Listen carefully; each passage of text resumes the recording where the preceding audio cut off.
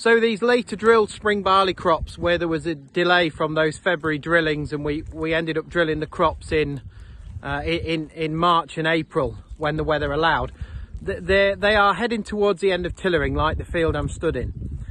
As we get to this, this stage, then we think about the, the, the T1 fungicide, but also like this crop I'm in, there's a number of broadleaf weeds, etc. that are going to need dealing with as well. So we could be heading into fairly complex tank mixes with herbicides, fungicides and potentially growth regulation. We mustn't forget nutrition. And we mustn't forget all the nutrients that are important. It's very easy just to go out and just put some straight, straight manganese on. However, things like copper and zinc still have a big function in uh, spring barley and spring wheat, no different to the winter crops. They're still there to help maximise the number of grains and, and really important, particularly if we've got a crop that's not tilled particularly well um, due to late drilling and, and, the poor weather.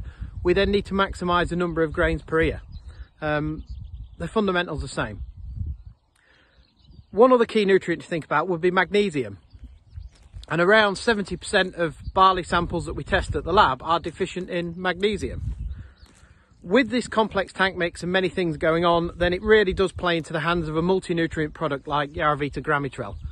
So that we are not lacking in any of those nutrients and then we can maximise our yield.